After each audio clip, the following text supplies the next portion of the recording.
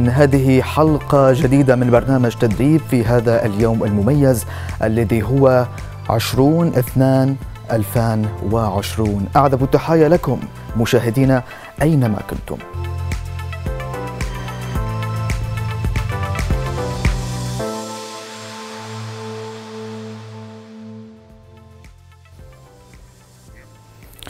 الحديث عن التدريب الإعلامي هو حديث شجون وسجال شؤون والكثير من الناس به مفتون وربما يضعونه نصب عيونهم بغية الاندماج في عالم بالمفارقات. مشحون فالوسائط الإعلامية المتعددة توفر عبر وسائل الاتصال ما يحاكي المجتمع ويضع النقاط على الحروف لتقديم رسائل تحمل مضامين تخدم المجتمعات بما تجود به من رؤى ثاقبة تحقق أهدافا متعددة. نعم. اهدافا متعددة. وبما أن تطور وسائل الاتصال الجماهيرية أصبحت تتسم بالطابع العالمي وتطورت بشكل ضخم وأدت إلى اندماجها بتعدداتها المختلفة والتي كانت في الماضي وسائل مستقلة لا علاقة لكل منها بالأخرى. وبذلك ألغيت معه تلك الحدود الفاصلة بين تلك الوسائل. فقد أصبح من الضروري تطوير الكادر البشري الذي ينخرط في هذا الميدان. هذا الميدان الذي يتسم بالجدية. في التعاطي مع الأمور الحياتية فهي مسؤولية جمة لمن يرغب في دخول هذا العالم. عليه اهتمت أكاديمية الرواد للتدريب وبهذا خصصت مساحة أو مساحة كبيرة للراغبين والطامحين. لنتابع.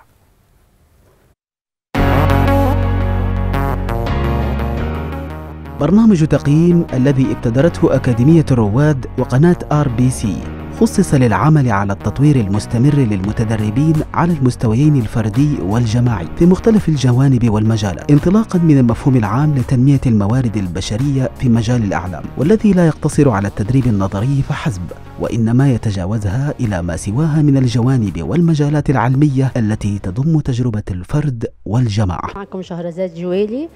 مبسوطة كتير إن أنا جيت حضرت في يوم التقييم اليوم المفتوح. اتعرفت على أحلى مجموعة وتعرفت على العاملين في كل في قناة الرواد الفضائية. وصراحة أخرجت كل ما بداخلي لأن لم أكن أتوقع اني أخرج كل هذا ولكن حسيت ان أنا في بيتي ثاني لم أشعر بالغربة.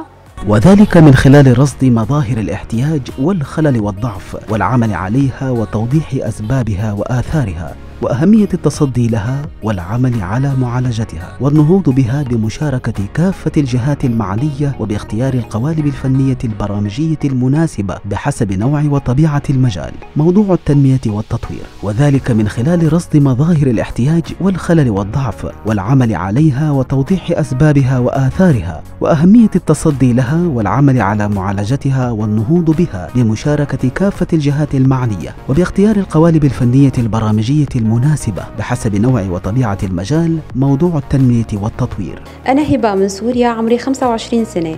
نحن باليوم الثاني لبرنامج التقييم. هي فكرة فريدة من نوعها وجريئة. خاصة أنه عندي أنا خبرة بمجال الراديو فكانت تطلع عبر الكاميرا فكرة جريئة وفريدة أيضا وضافت لي المزيد. كل التوفيق لإلي ولزملائي.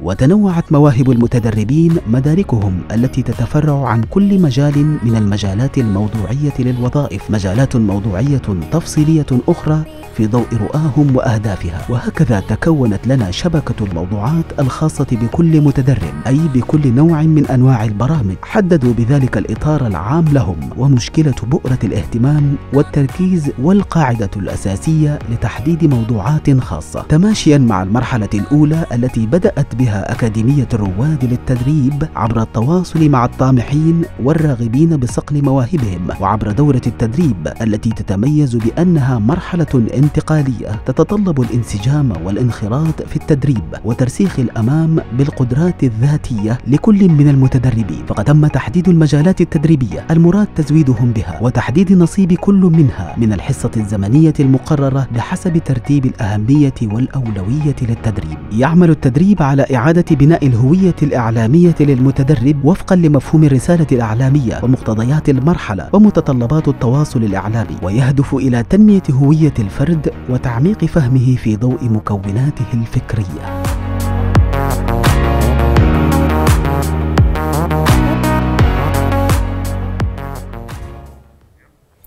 إذا في هذا الفيديو تيب أو هذا التقرير كان صوت آه، شهرزاد جويلي وهبة الدهرلي عال كما شاهدنا. بمعنى أنهم كانوا يفكرون ويتحدثون على الكاميرا بصوت عال. نستطيع أن نقول بأن جويل شهرزاد لديها شغف وما زال لديها شغف بعد هذا آه، الظهور وبعد هذا آه، الكلام الذي قالته. وهبة آه، الدهرلي نستطيع أن نقول أيضا بأن كان لها أو نستطيع أن نقول بأن صوتها حاضر وجميل ولديها شغف وكما قالت لديها خبرة سابقة في التعليق الصوتي أو في المجال الإيداعي.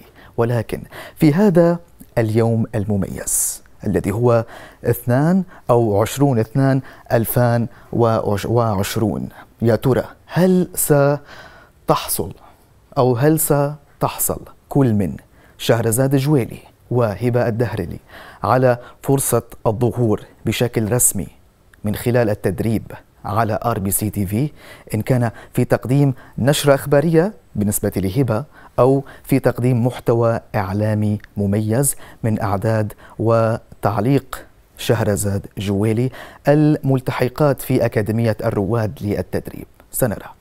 الملتحقات في هذه الأكاديمية وقناة آر بي سي. قناة ار بي سي وأكاديمية الرواد للتدريب.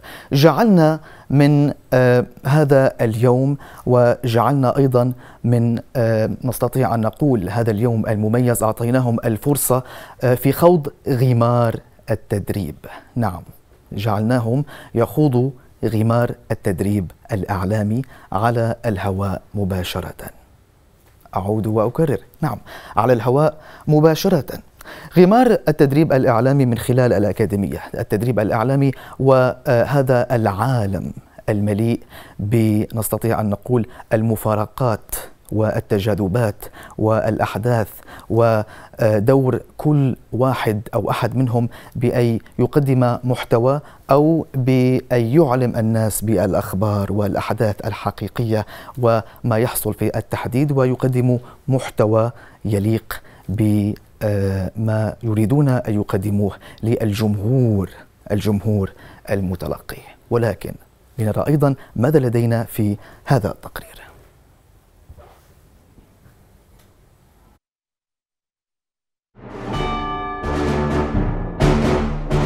يوم آخر يطل فيه الشباب للتحليق في فضاء الإعلام من خلال ما أتيح لهم في أكاديمية الرواد للتدريب. بغية اكتشاف قدراتهم ومن ثم تحديد متطلباتهم المعلوماتية ثم العمل على صقل مواهبهم في اتجاهات اختياراتهم. كما نرى زخما من تفاعل وجدية في التناول والتركيز في التعاطي مع المشهد.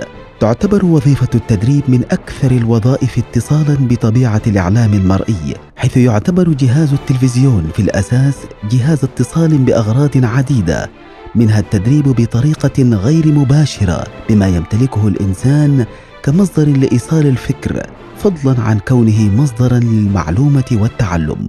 أكاديمية رواد وقناة آر بي سي تعتبر هذه الوظيفة الأكثر شيوعا في الإعلام المرئي والمسموع والأكثر جذبا للمتلقي وتحتدم فيها المنافسة بين المؤسسات الإعلامية لدرجة تدفعها أحيانا لتجاوز القيم والأعراف والمكونات الثقافية للجمهور المتلقي. وقد حرصت قناة رواد على القيام بهذه الوظيفة. مع الالتزام بالقيم والأعراف والمكونات الثقافية لجموع المتدربين الراغبين في ولوج عالم الإعلام واستثمار التدريب ليجمعون إلى جانبه اغراضا أخرى تساهم في الارتقاء بالقدرات والإدراك العام للمتدربين بحماسهم للانخراط في خضم هذا المجال. تحديد أساليب التقديم والاستعداد المعنوي والنفسي للمقدمين. ورهن ذلك بالقدرة على صياغة نصوص الموضوعات لأنواع البرامج المطلوبة بحسب الوظائف المحددة لها. لتصبح كل وظيفة عنوانا لأحد الأنواع الرئيسية للبرامج. هذا ما استقاه المتدربون وما توفرت لهم من معلومات للاستزادة من منهل أكاديمية الرواد. الأكاديمية بكوادرها التدريبية عمدت على تمليك هؤلاء الشباب المفاهيم العامة لفكر الاتصال الجماهيري في مجال الإذاعة والتلفزيون ومناهج البرامج اللازمة لوظائفها المتنوعة مع التركيز على البرامج اللازمة لوظيفة التنمية. وذلك بعد أن تم تحديد المجالات الموضوعية التي تختص بها كل وظيفة من الوظائف واختيار ما يتناسب منها من الرسالة الإعلامية وأهدافها الاستراتيجية. وطبيعة العمل التلفزيوني.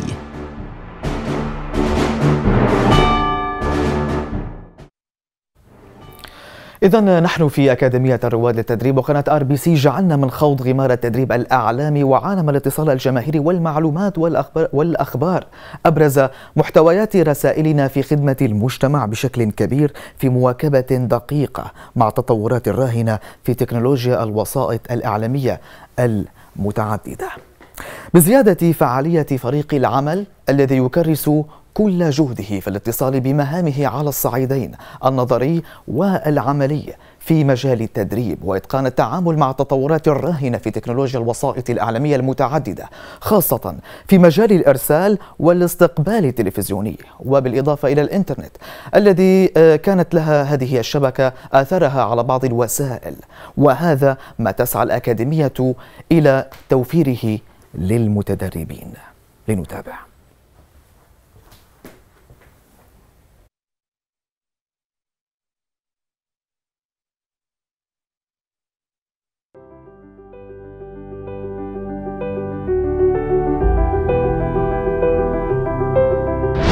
تأثير الرسالة الإعلامية في اتجاهات المحتوى يلعب دورا واضحا في التأثير في اتجاهات الأفراد نحو التقبل أو الرفض. وتتضافر عوامل كثيرة في تحريك وتوجيه هذه الاتجاهات منها التعليم والطبقة والعلاقات الاجتماعية ووقت المشاهدة. تلجأ وسائل الإعلام إلى أساليب مختلفة لإقناع الجمهور بجدوى الرسائل الموجهة إليه والدعوة إلى التفاعل معها. يتم ذلك من خلال جهود متتالية تستهدف استمالة العقل والعاطفة لدى الفرد المستهدف. بطريقة غير مباشرة في معظم الأحيان نعم. محتاجين نحن نعكس أفضل صورة مشرفة للمشاهد نعم.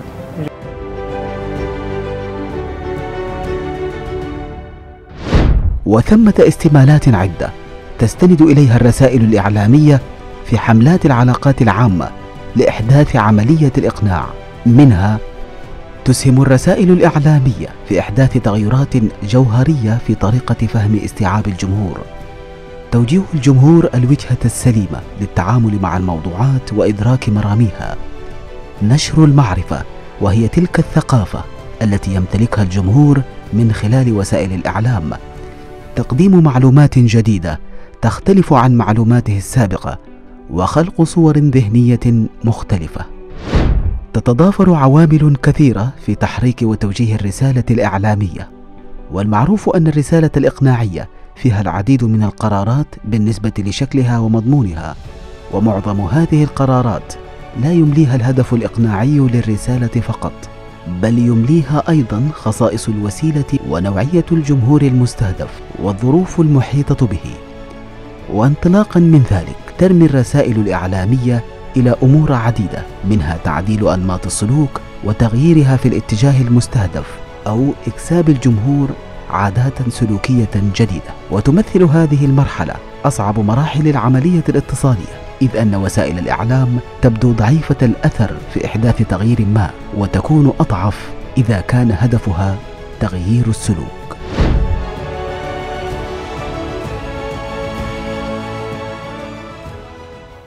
إذا مشاهدينا أهم ما هو في المجال الإعلامي أو في الوسائل الإعلامية هو أن يكون هناك رسالة إعلامية.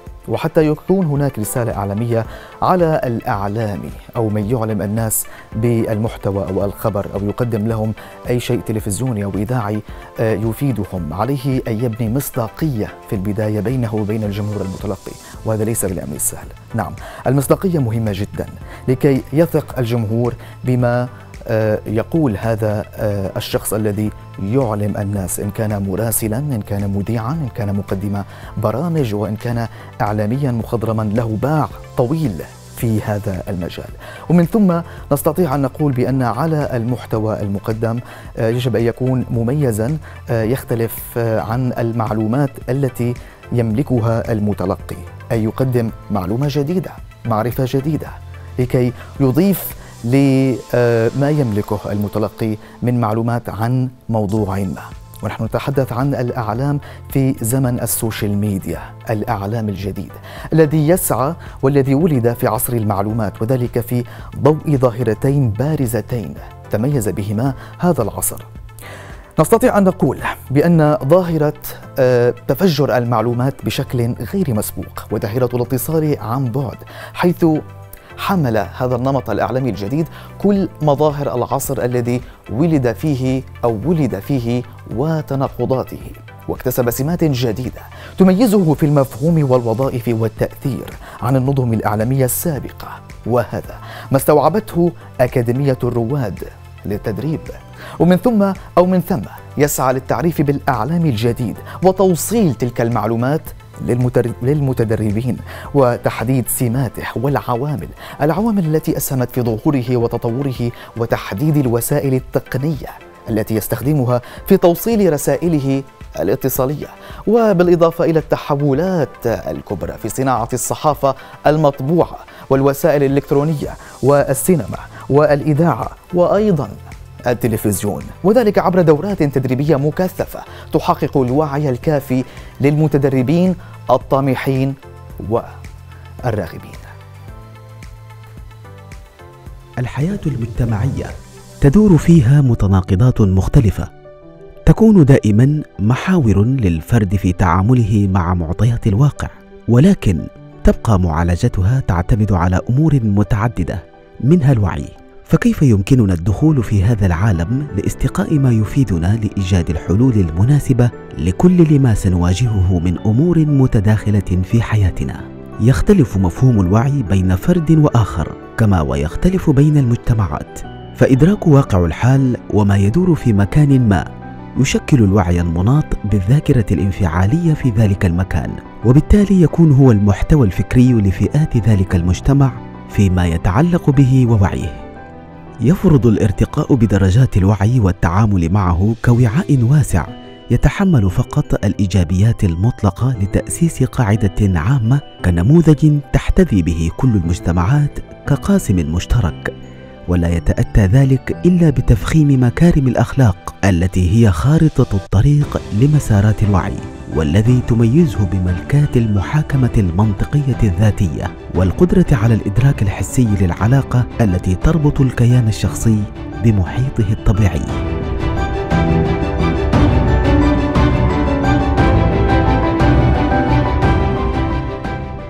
فمن يلتزم مسارات الوعي يستطيع الدخول إلى عوالم مفتوحة من درجات الإدراك وتصنيفاتها كمنصات في داخله. تستطيع تصنيف مدارات الوعي تجاه الإشكالات والمشكلات التي تشكل له أزمة أو صعوبات ويكون السبيل إلى بلوغ الحلول منفذ كبير.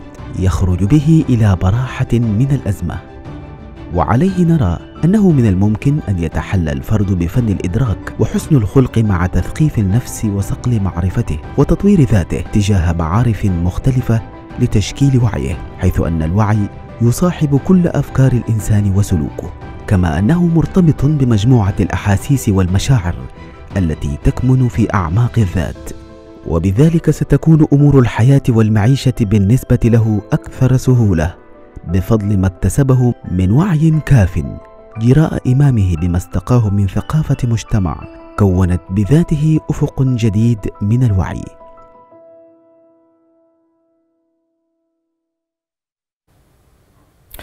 إذا مشاهدينا الوعي والإدراك وكما شاهدنا هو جزء من الاتصال الجماهيري الذي ربما قد يأتي مسبقا قبل البدء في العمل في المجال الإعلامي وأيضا يمكن أن يأتي تباعا. نعم يمكن أن يأتي تباعا. ولكن الجدير بالذكر هنا بأن المسؤولية الاجتماعية التي ستشعر بها وأنت تعمل في هذا المجال وأنت تقدم آه، محتوى وأنت آه، تقدم رسالة ستجعلك شخصا مختلفا تعطي معنى آخر لحياتك العملية. بأن عليك مسؤولية أن تقدمها للمجتمع الذي تعيش فيه.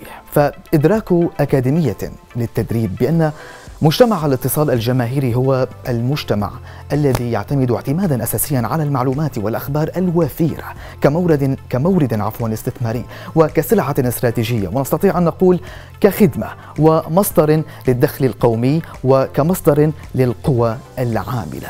مستغلا في ذلك إمكانيات تكنولوجيا المعلومات والاتصالات المتطورة. هذا قررت استخدام المعلومات بشكل واضح للتدريب. أتحدث عن أكاديمية الرواد للتدريب وفي تشكيل فكر المتدربين حول أوجه الحياة الاقتصادية والثقافية والاجتماعية. نعم الاجتماعية. بغرض تحقيق التنمية المستمرة وتحسين نوعية الحياة للمجتمع والأفراد وتمكينهم من القدرة على جمع البيانات وتصنيفها وتخزينها واسترجاعها وبثها بأكبر كميات ممكنة لأكبر عدد ممكن من الأفراد وفي أقل وقت ممكن أيضا. كذلك يعتمد مجتمع المعلومات المنظم على نستطيع أن نقول على الاتصالات الفورية من الأنواع كلها ومن بينها القدرة على الاتصال عبر المسافات المسافات البعيدة. لنرى.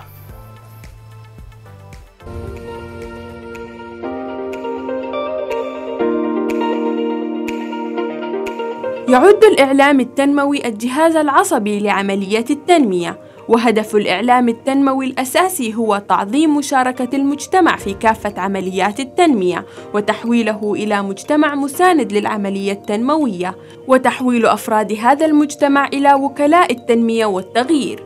ضمن المنظومة الإعلامية الرئيسية أو الفرعية المتخصصة في معالجة قضايا التنمية. والإعلام التنموي فرع أساسي ومهم من فروع النشاط الإعلامي يعمل على إحداث التحول الاجتماعي بهدف التطوير والتحديث أو بمعنى آخر هو العملية التي يمكن من خلالها توجيه أجهزة الإعلام ووسائل الاتصال الجماهيري داخل المجتمع بما يتفق مع أهداف الحركة التنموية ومصلحة المجتمع العليا. ينبغي الأخذ في الاعتبار المعوقات التي تواجه الإعلام التنموي أثناء قيامه بعملية التنمية والتي من أبرزها. غياب التخطيط وندرة التدريب وقلة الخبرة، ضيق الوقت وعدم تحديد المساحة الزمنية المتاحة للمعالجة، نقص وعدم شفافية المعلومات المتوفرة لوسائل الإعلام التنموي، عجز الإمكانيات المادية المتاحة أمامه وعدم التزامه بالموضوعية في الموضوعات المقدمة.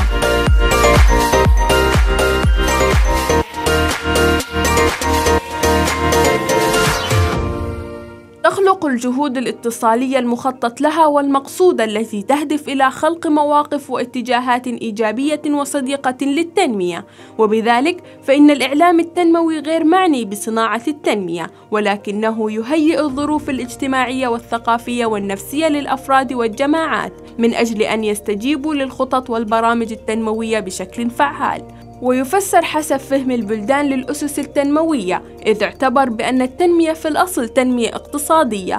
يصبح الإعلام التنموي عندئذ أقرب إلى مفهوم الإعلام الاقتصادي ويحتاج إلى التطور البطيء كما ونوعا مما يجعله عاجزا عن مواكبة الحياة التنموية في المجتمع. سيطرة مشاعر القلق والتوتر لدى الجمهور ونظرة الإعلام لدوره على أنه غير مؤثر. عدم تحري الدقة في المعلومات المقدمة والسيطرة العشوائية في الطرح. الاتجاه إلى الحالة الديناميكية خارطة طريق للنمو الاقتصادي والاجتماعي.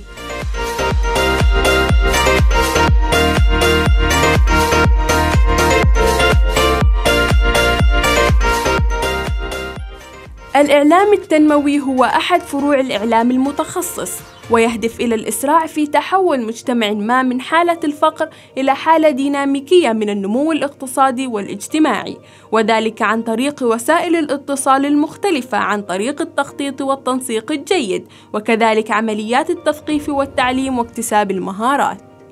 تستند نظريات الإعلام التنموي على الأسس العلمية لنظريات الإعلام بالتزاوج مع نظريات التنمية المتنوعة وهذا التزاوج في الأساس خلق العديد من نظريات الإعلام التنموي حيث دمج بين الأبعاد الإعلامية والاقتصادية والاجتماعية وهذا لا يمكن أن يتحقق إلا من خلال الإعلام وأدواته المتجسدة في وسائل الاتصال التي تلعب دورا حيويا في تذليل العقبات التي تواجهها التنمية. إذا مشاهدينا نستطيع أن نقول بأن الأعلام التنموي يعني قريب من الأعلام أو إلى مفهوم الإعلام الاقتصادي. وكما شاهدنا بأن هناك أعلام اقتصادي أعلام آه، آه، تنموي حتى هناك أعلام حربي على سبيل المثال. نعم. ونستطيع أن نقول بأن بهذه الحلقة آه، تحدثنا أيضا عن الوعي الفكري والذي يسبق دخولك إلى هذا المجال أو قد يأتي بعد خوضك غمار هذه التجربة التجربة الإعلامية. نعم. وشاهدنا أيضا في بداية الحلقة كل الشباب والمجموعة التي التحقت بالأكاديمية وخضعوا ليوم التقييم يوم الكاستنج وأيضا أقاموا ورشة عمل تدريبية على الهواء مباشرة وقدموا محتوى إعلامي لأول مرة على الشاشة على الهواء مباشرة رأينا بصوت عال هبة الدهرلي هذه الشابة الموهوبة لديها صوت جميل وإذاعي وقالت بأن لديها خبرة إذاعية في التعليق الصوتي أيضا. ولكن أيضا آه، شاهدنا آه، جويل ليست جويل شهرزاد شهرزاد جويلي هذه السيدة. التي هي قديرة في العمر وفي المقام عملت في الصحافة أيضا من قبل ولكنها آه، آه، كان آه، أستطيع أن أقول آلية عملها في تغطية الفعاليات في تغطية المناسبات أي كان يقتصر عملها على إعداد التقارير والتعليق الصوتي. ولكن في هذا اليوم المميز الذي هو عشرون اثنان 2020 هل سيحصل كل من الملتحقين. إلى أكاديمية الرواد للتدريب على برنامجه الخاص برنامجه الخاص ويتدرب عليه. هذا ما ستقوله الأيام القادمة. إلى ذلك الوقت مشاهدينا. برنامج تدريب يطل عليكم يوميا. وهذه الحلقة أيضا ستعاد. فلا تذهبوا بعيدا عن شاشة آر بي سي تي في. أما الآن لم يبقى إلا أن أودعكم أن أودعكم. حتى أنا حتى أنا أحيانا أستطيع أن أقول أنني أتلعثم في التقديم. ولكن نستطيع أن نقول بأن حتى هذا التلعثم عليك أن تتجاوزه. أي أنا مثال حي أمامكم بأنك مهما واجهت الصعوبة في التقديم التلفزيوني إن كان لك أو لديك خبرة أو أول مرة أو كنت في حالة ذهنية غير مستقرة نوعا ما. لا تشعر على ما يرام. أستطيع أن أقول مشاهدينا بأن بأن هناك مفاتيح تستطيع أن تتجاوز بها هذه العراقيل وهذه الصعوبات كما أفعل الآن. لم يبقى إلا أن أختم هذه الحلقة. وأتمنى لكم يوما سعيدا. وإلى اللقاء.